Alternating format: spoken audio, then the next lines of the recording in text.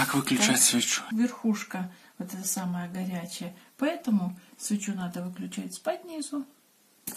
Все.